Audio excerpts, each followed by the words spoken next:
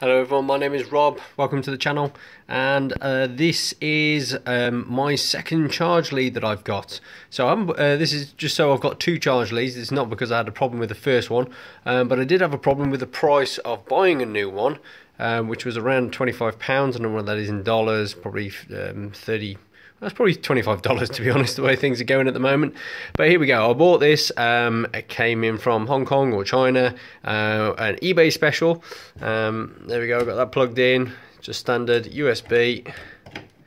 Um, and the fitting on the end there, absolutely identical. We click that in. There we go. Little vibration there to say that it's uh, that it's charging. You can see it's charging there, no problem whatsoever. Um, it holds in as well, as good as, as good as the other one. Um, my little bugbear is that it sticks out the back, not like the old charger, which you used to be able to put on if it was on your wrist if you were doing a ultra track. Um, the only thing that, uh, that I've noticed different is just the thickness of this cable is a lot thinner than um, the Garmin one. Who knows why? Um, it still transfers data. You can plug it into the PC um, absolutely fine. So um, I think this cost me seven pounds, something like that. So a huge saving.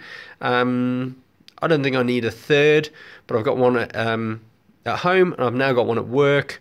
Um, so there's no issue with me forgetting this. Maybe I get another one just to keep in the van, um, just to make sure that I don't forget it when I go away. Um, you can't have enough of these because um, I've done it twice now where I've um, managed to forget taking one of these when I went away for a weekend or something like that, and uh, my watch got a little bit low because we were out walking in the mountains all day, um, and it sucks the um, the life out your battery if you're tracking on full GPS for six or seven hours. Um, um, I prefer to have it on full GPS, not on the um, the ultra track mode.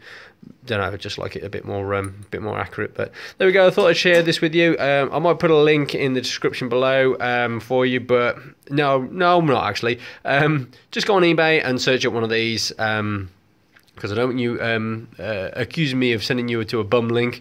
Um, don't like to do that, but uh, just do your research on who you're buying it off. Just make sure they've got a good um, a good ranking or whatever. But they're pretty much uh, they're, they're probably all made in the same factory anyway. So go ahead and get yourself a, a new charge lead.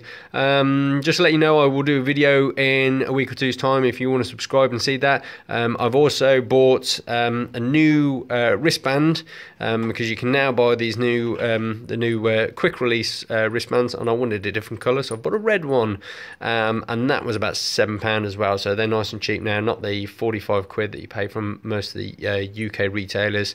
Um, and I'll uh, let you know how I get on with that um, in that video. So thank you very much for watching. If you like the video, give it a thumbs up for me, and I'll see you on the next one. Thanks a lot for watching. Bye bye.